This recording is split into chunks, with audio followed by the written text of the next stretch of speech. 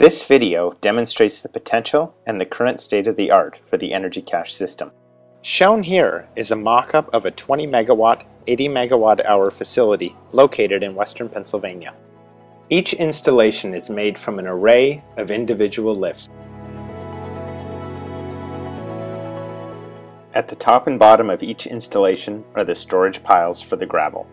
Each pile is capable of holding between 4 and 6 hours of energy.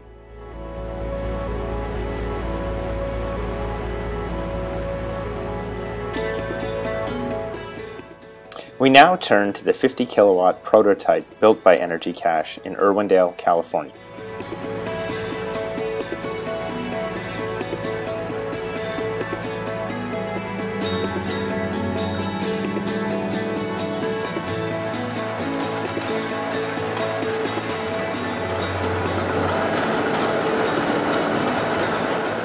Each of the subassemblies will be described in turn.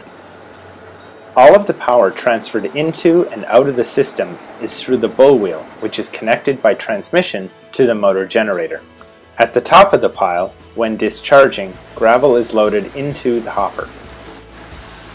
The gravel then descends down the hill to the hopper pile below. At the bottom of the hill is the second storage site for the gravel. The gravel travels around the second bull wheel towards the dumping site where the automatic dumping mechanism removes the gravel from the buckets.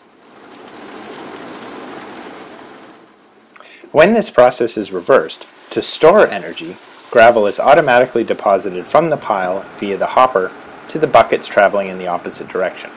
This gravel is automatically unloaded via similar mechanism at the top of the hill, thus completing the storage process.